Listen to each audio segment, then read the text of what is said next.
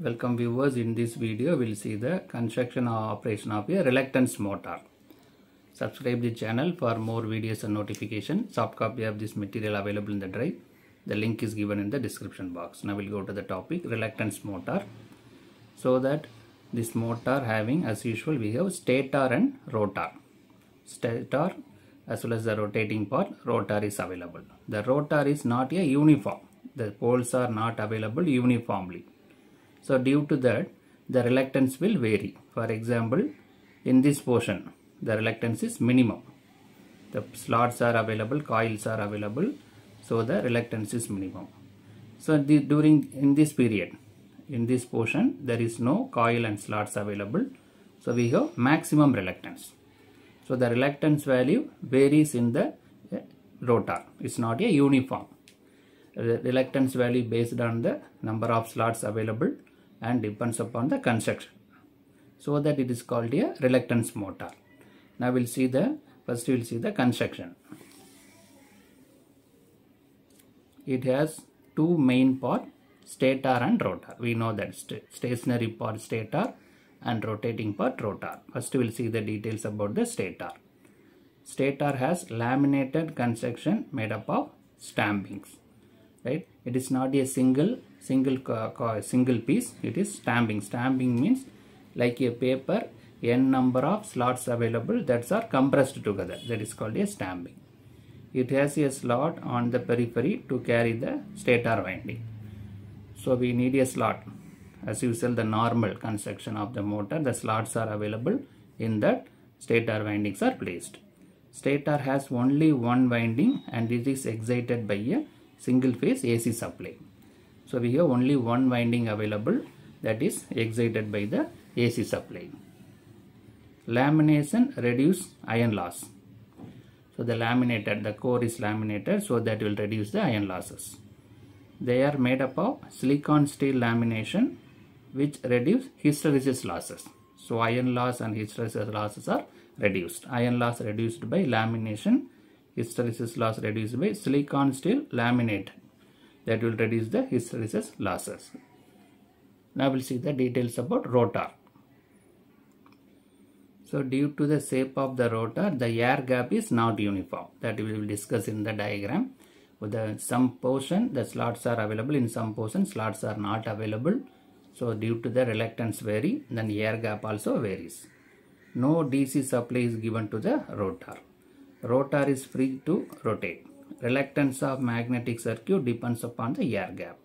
We know that air gap is different, so the reluctance also different. Due to variable air gap, when rotor rotates, the reluctance between the stator and rotor also changes. That's why it is called a reluctance motor. Now we'll see the working principle. Stator has a single main winding, but a single main winding cannot produce rotating magnetic field. Right? So already know that we have only one winding is available. If the only one winding is available, there will not be any rotating magnetic field. Minimum two windings are required. Now we'll see why it is. For example, let us consider this is the current flowing through the single winding. Consider only single winding is available. Alternating current is flowing through the single winding. So during positive half cycle, the because of rate of change of current, positive flux will be produced plus phi. During negative half cycle, due to rate of change of flux current, the negative flux is produced. Right? So sum of these two, positive flux and negative flux is zero. So the flux produced during positive half cycle and negative half cycle got cancelled so that there is no rotating magnetic field in case of single winding. That's why single phase induction motor is converted into two phase starting winding and main, winding with 90 degree phase difference between the current flowing through the starting winding and main winding so that the rotating magnetic field is produced in single phase induction motor. Similarly here, here also we need to make some other arrangement to create the rotating magnetic field. Therefore to produce a rotating magnetic field an additional auxiliary winding with a series capacitor is connected. Right. So two conditions are needed. One is the one winding should be converted into two windings. So that is connected with auxiliary winding. And also there should be phase difference. Then only the EMF will be, the RMF will be produced. For creating phase difference, the capacitor is connected. Now capacitor connected means suppose this is the current flowing through the main winding mean current flowing through the auxiliary winding will will flow earlier 90 degree earlier. See this at this time the current is decreasing and another current is increasing. So always there is a some current will be there. So due to that flux will be created not cancel if you want is only one winding is there that can't cancel. If two windings are there with two current two flux with 90 degree phase difference always some flux will be available. That is called a rotating magnetic flux right so single winding is converted into two winding by connecting auxiliary winding and making the 90 degree phase difference using the series capacitor. Now we'll see the further detail. A rotating magnetic field is produced due to the phase difference between the current flowing through both the windings. Rotor has short, short circuited copper or aluminium bar and act as a squirrel cage rotor of a induction motor. Right, what we have in the rotor short circuited copper or aluminium bar. There is no coil. Right, permanently the copper bar or aluminium bars are available. So that will act as a squirrel cage induction motor. Now we'll see the further detail. So when an iron piece is placed in a magnetic field, it aligns itself in a minimum reluctant portion and get gets magnetic, magnetically locked. It's a general general theory. If iron piece is placed in the magnetic field, what happen?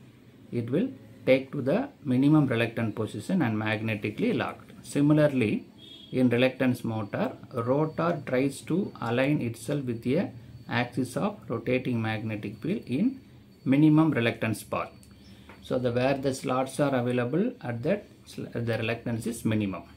The slots not available at that portion the reluctance is maximum. So it will align with the minimum reluctance position. But due to the rotor inertia it is not possible when the rotor is standstill. Right. So the rotor is standstill means not rotating. So it will not possible to align with the minimum reluctant position.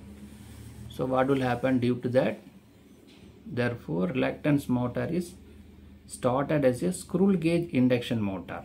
When the rotor speed is about synchronous, stator magnetic fields pulls rotor into synchronism at minimum reluctance position and keep the magnetically locked. So during the starting, it will act as a squirrel cage induction motor, right? So it is rotating in a synchronous speed. This rotor speed is about synchronous speed. Rotor continues to rotate with the speed equal to the synchronous speed. Such a torque exerted on the rotor is called reluctance torque. Finally, reluctant motor runs at a synchronous motor. So, due to the magnetic locking, we are we are treating this as a reluctance a uh, synchronous motor. The, the rotor is rotating at synchronous speed. Finally, it will act as a synchronous motor. So the average value of reluctance torque is T equal to K V by F square sine 2 del. Right. So the K is the motor constant, del is the angle, the load angle. Right. V is the applied voltage, F is the frequency of the supply, maximum value. Now we'll see the further detail. Though the motor moves at synchronous speed, rotor poles lag behind the stator by a torque angle. Reluctance torque increases with the increase in torque angle. Right. So the motor what we treated is a synchronous motor, synchronous speed. But still there is a some lagging between the stator and rotor. This is called a torque angle. Right. So that torque angle will increase uh, the reluctant torque increases with the increase in torque angle. So the torque is based on this torque angle. This is a that uh, is the torque angle. I will see the speed torque characteristics. So the x-axis we have speed and y-axis torque is there starting torque. When the speed is 0 we have the maximum starting torque. When the speed increases the torque also increases gradually at one portion it is increases suddenly the torque is increases suddenly that is called a switching speed I we already discussed the magnetically locked thereafter it will start rotate in the synchronous speed. Again it is increases rapidly then reduces gradually reduces and will get the synchronous speed n equal to ns right? So initially torque increases gradually at one portion. It increases in a rapid manner. That is called a switching speed. Thereafter reduces gradually and reaches the steady state value. That is called a synchronous. At synchronous speed at it got the steady state. Now we'll see the advantages and disadvantages. DC supply is not necessary for this rotor. Constant speed characteristics. Why it is constant speed? It is rotating in synchronous speed. Robust construction less maintenance. Right? There is no commutator brush nothing is there. So it is less maintenance and construction also simple. But the efficiency is less poor power factor. Because of lagging of current between stator and rotor and also we have load angle. There's a torque angle is available. And load angle is available. So due to that the power factor is poor. Needs very low inertia rotor right? You cannot go for a big size right? Very minimum size of rotor with inertia inertia is needed. Inertia in the rotor is very less. Less capacity to drive the loads. So having the less capacity you cannot use it for a more capacity more rated motor only less powered motor is there so capacity is less to drive the load. So in this video we discuss reluctance motor. So the the rotor is not uniform having the slots at some portion there is no slot and some portion. Due to that air gap different air gap varies based on the reluctant value also varies.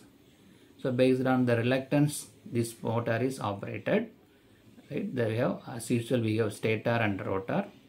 It is finally it is rotating at a synchronous speed. So it is called a synchronous motor. Then we discuss the torque speed characteristics advantages and disadvantages subscribe the channel for more videos and notification. Soft copy of this material available in the drive. The link is given in the description box. Thank you for listening. All the best for your examination